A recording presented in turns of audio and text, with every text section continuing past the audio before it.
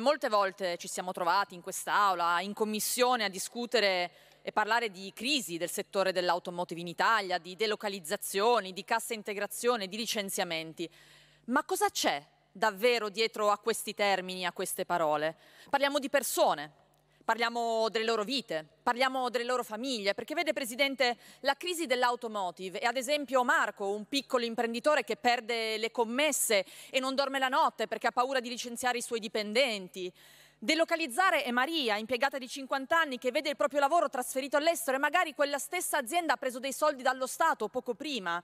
La cassa integrazione è la storia di Enzo, impiegato di 35 anni, specializzato, che non sa se riuscirà a mantenere gli studi dei propri figli.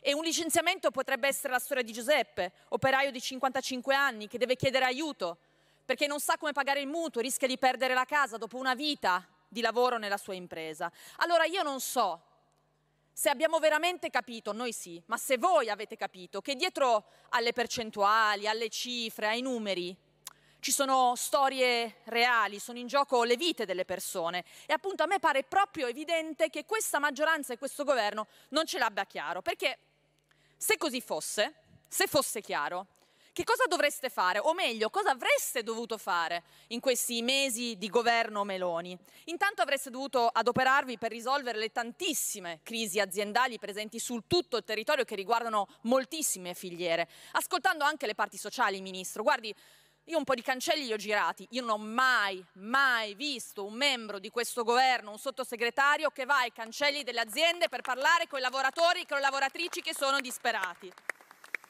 Dovreste rendere strutturali i tavoli di lavoro al Ministero per non ricominciare ogni volta da zero. Dovreste vincolare le risorse pubbliche per le aziende perché non è possibile, non è accettabile vedere aziende che intascano soldi pubblici e poi se ne vanno.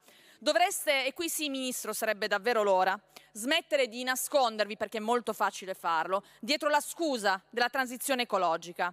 Il mercato ormai è cambiato, credo che siamo d'accordo su questo, almeno su questo. E sono anni, lo dicono i numeri, che le case automobilistiche stanno convertendo le proprie filiere. La previsione è che entro il 2030, piaccia o non piaccia, a voi fa paura la parola elettrico, l'abbiamo capito, il 70% dei veicoli venduti in Europa saranno elettrificati. E voi cosa fate? Il solito schema. Si fa finta di non vedere, si prova a mettere un muro e magari si mette anche la testa sotto la sabbia. Allora io lo ripeto anche qui, il Movimento 5 Stelle lo dice ormai da moltissimo tempo, la transizione è già in atto. E non è che possiamo molto scegliere. Allora, o ne vieni travolto come uno tsunami che si porta via tutto, imprese, lavoratori, lavoratrici, perché questa cosa comunque accadrà e ci troveremo a comprare le auto prodotte all'estero elettriche e non prodotte qui, oppure il buon senso direbbe che la si prova a governare e quindi ne diventiamo protagonisti, provando a rilanciare le nostre filiere. E però questo significa fare delle cose.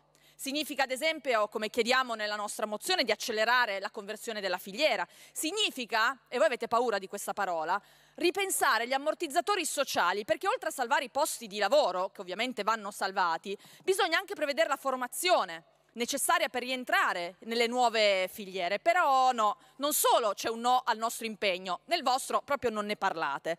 E poi bisogna avere il coraggio di investire in quelle infrastrutture che fanno parte del nostro paese, come ad esempio il tema delle colonnine elettriche.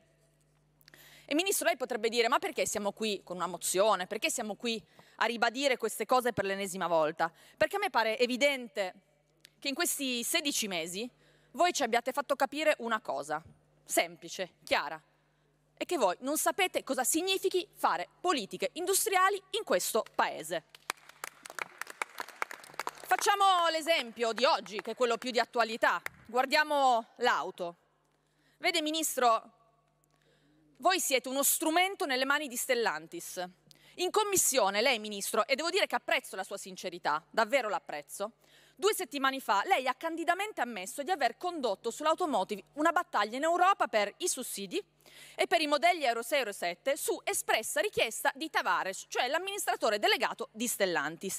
Allora la domanda spontanea che a me è venuta, che non è venuta, è ma a fronte di quale garanzie ottenute da Stellantis? Più posti di lavoro? Più investimenti? Più produzioni di auto in Italia? O solo una pacca sulla spalla perché va bene così? E allora questa domanda gliel'abbiamo fatta, Ministro, gliel'ho fatta io personalmente, in commissione. E purtroppo la risposta è stata un'inquietante scena muta. Così come Ministro, l'ha ribadito anche oggi in aula con le sue parole, è inquietante il rapporto che avete con la Cina.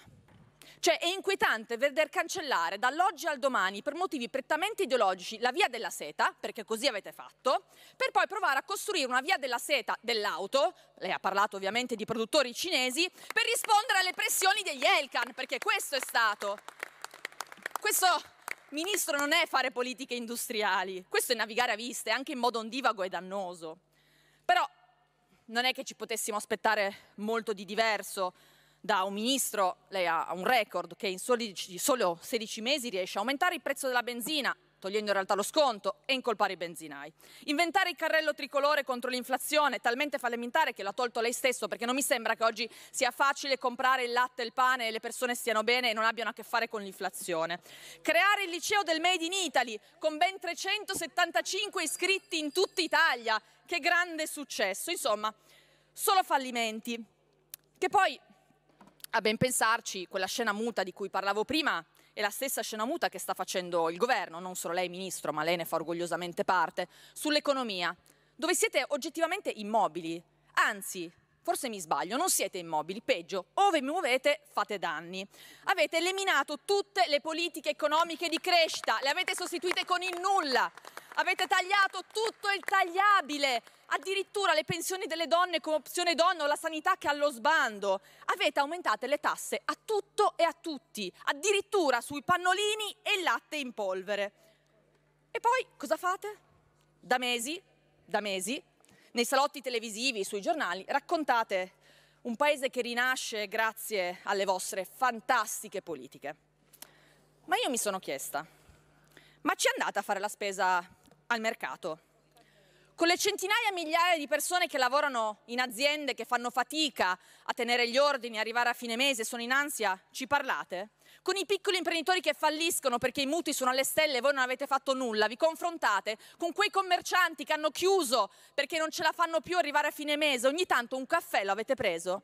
Perché vede Ministro, non è un caso, non è un caso quello che sta accadendo, non è un caso se la crescita oggi è dello 0, non è un caso se il 63% della popolazione fa fatica a arrivare a fine mese, non è un caso se la produzione industriale cala da 11 mesi di fila, non è un caso se il potere d'acquisto delle famiglie è calato del 4% nel 2023 e non è un caso se è esplosa la cassa integrazione, come non è un caso purtroppo che a gennaio abbiamo perso 34 mila posti di lavoro. E sa perché non è un caso?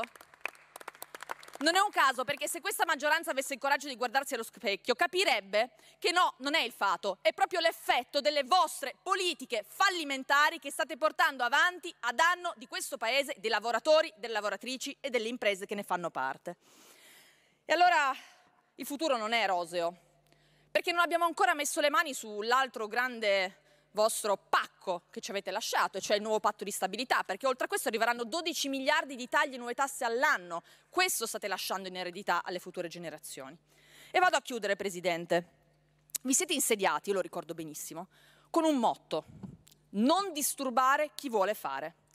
Allora io a distanza di 16 mesi ho capito che voi no, non vi riferivate alle piccole e medie imprese, non vi riferivate agli imprenditori che fanno fatica con la burocrazia, a chi vuole investire. No, voi pensavate ai falchi di Bruxelles da cui fate dettare la politica economica, cioè tagli e tasse. No, non vanno disturbati loro. Voi vi riferivate a Washington da cui prendete gli ordini sulla politica estera, guai a mettervi contro quello che dicono gli USA. Voi vi riferivate alle lobby come quelle delle banche a cui avete chinato la testa appena hanno chiesto di togliere una tassa giusta che toccava gli extra profitti, guai a disturbare le lobby delle banche come le lobby delle armi. Lì 10 miliardi li avete trovati, eh? già 10 miliardi avete trovato per le armi. Per loro la coperta è sempre lunga, per gli altri è corta. E allora chiudo, Presidente. Dopo 16 mesi di governo abbiamo capito. Abbiamo capito cosa voleva dire quella frase. Voleva dire semplicemente che per voi l'importante è non disturbare chi vi manovra, cioè chi manovra questo governo. E allora, Presidente, altro che governo a difesa del popolo. Voi siete patrioti alle feste di partito e incapaci di difendere gli interessi nazionali del popolo ove contano le scelte. Grazie.